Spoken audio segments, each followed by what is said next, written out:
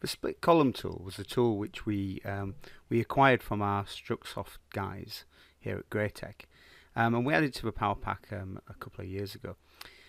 But it had a limitation, and that was the fact that it would always cut. It would only cut um, vertical columns. We've now added the functionality to allow it to, to split um, slanted columns, both using at point, which you've just done there, at levels, so we can actually use the, the level itself to split it. And we've also got the ability to use reference planes. So we've got some really good control on how these elements are actually split. But the enhancement that we've now done, not, not only does it now work on um, slanted columns, but if we actually select the tool using the shift key, this will actually allow us, rather than cutting perpendicular, this will actually allow us to put a horizontal cut using exactly the same tool. So press shift, we can select the um, slanted column, we select a point, hit finish, and as you can see, we can now put a horizontal cut in there. And as I say, this will also work if we then go back in and use the same process shift select by level. Then we can do the same thing. We can use our level lines. And of course as you would expect from the tool if it works on point and on level then it's also going to work using our reference plane and here we go remember press the shift key if you want it horizontal rather than perpendicular nice little improvement um, but basically requested so that slanted beams. And once you've done that, if it wasn't, if it was a steel beam, all the steel connections will actually work on them as well. So it doesn't affect the way that the tool works.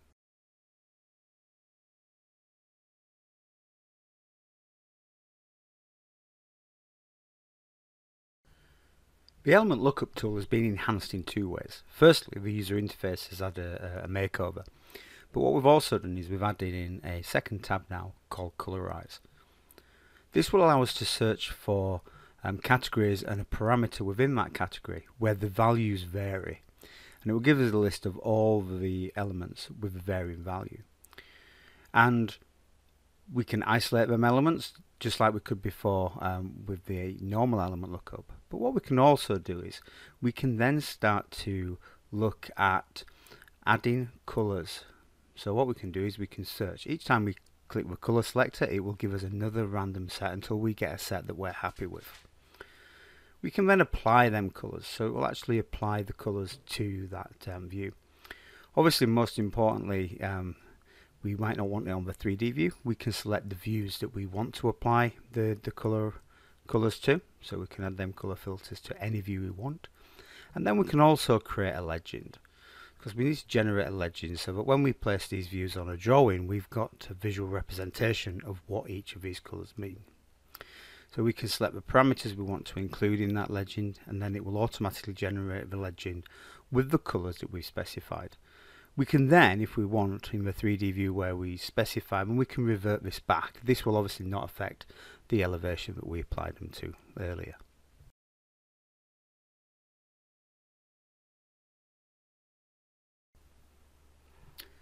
The numbering tool is probably one of my favourite tools within the Power Pack, allowing us to number absolutely anything. This is a very powerful tool which we've enhanced this year, particularly when it comes to nested families. The sequencing before would not guarantee that the nested elements would be grouped with the host. We've now improved that so that these elements will actually be numbered accordingly. So in this example, we've selected pile caps and we select the um, structural foundation elements that we want to number. These are nested um, pile caps with a separate pile and we can choose which we want. We click OK.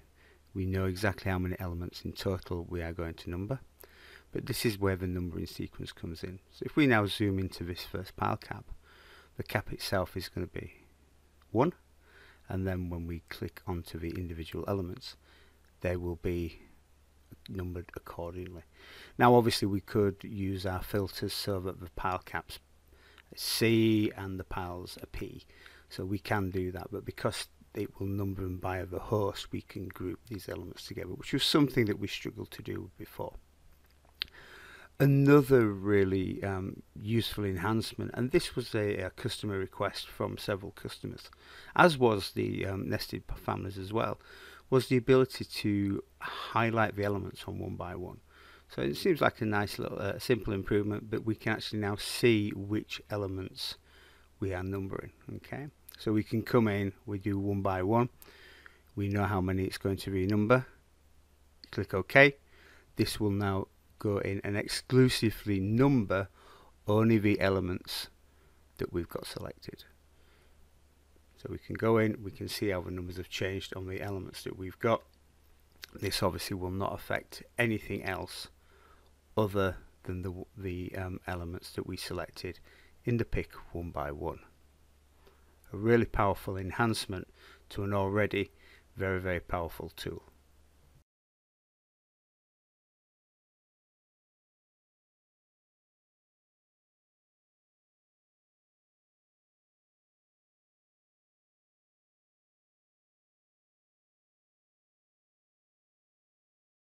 We now have a brand new an analytical model check tool. This tool will allow us to check um, nodes to analytical members, nodes to panels, or panels and members. We can set a tolerance for what is an acceptable disconnect, and then we can run a check.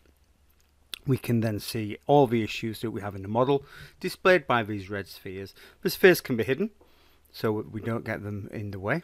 We can also change the size of them. If you've got a lot of errors in one place, it might look a little bit confusing so we can reduce them so we can see them um, a little bit clearer.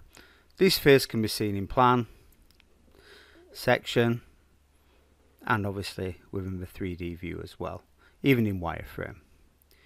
We can isolate just the errors, we can zoom and isolate a particular problem so that we can then resolve it before we send it off to be analysed.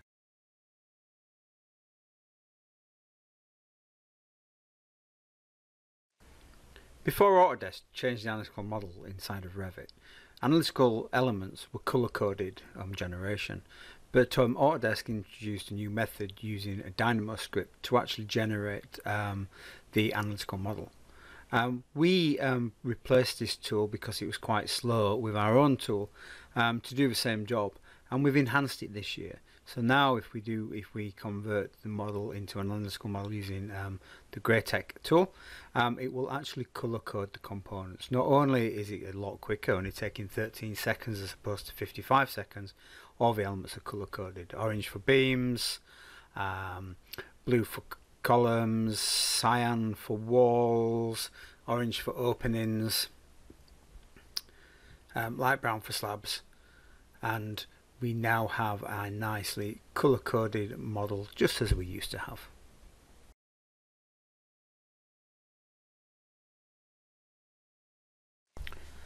We've improved our BIM Connect software um, by giving it the ability to import reinforcement from TriCalc. So TriCalc is a Graitec um, structural analysis package um, based in the Iberia region. So as we can see here, we are now in um, TriCalc and we now have the ability to export um, a GTCX file containing um, the entire model, part of the model and all the reinforcement that's been designed in there.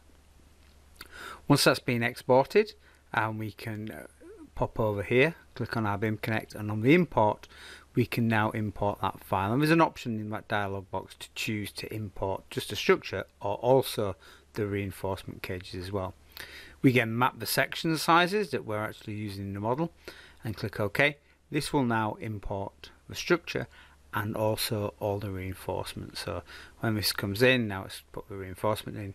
Let's go to a 3D view and in the 3D view you can actually see now that all the designed reinforcement. Now this has come across correctly, this is now Revit reinforcement. You can use all the Revit native Revit tools to do to edit it and document.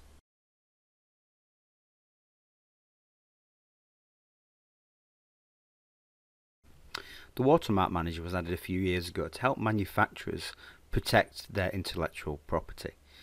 It only had three parameters that we could add in there and this year we've enhanced it so that we can actually create custom parameters. So here we are, we select the family that we want to add our watermark to and we can add the standard three parameters. But now here we have the ability to create our own custom parameters, as many as we want, that we want to add additional data into our family. Once we apply that, we add a password. This will actually allow us to remove it later on. And this data is actually entered into the file structure and it cannot be deleted. The only way to delete the watermark is through the watermark manager. Once that's been added, we can test it and we can see actually in the family when we load it in that some of the information is visible and it's visible in the family but editing it in the family does not remove it from the watermark this is embedded deep inside the file itself and as I say we can remove it with a watermark manager but this now protects that information. And if you suspect someone has got your family and your IP we can check by using the watermark manager